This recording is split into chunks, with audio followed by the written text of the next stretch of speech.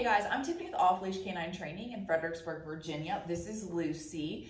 She's with me for our famous two week board and train program. She's here because she can be nervous around other dogs and people sometimes. Um, she just saw a dog out front um, with her owner here and she was growling. Um, but she also will play with dogs, owner said. She's been bounced around. She's on her third home and they've only had her for three weeks. So I think she just feels a little unsettled. So I'm gonna work her through all that and build her confidence.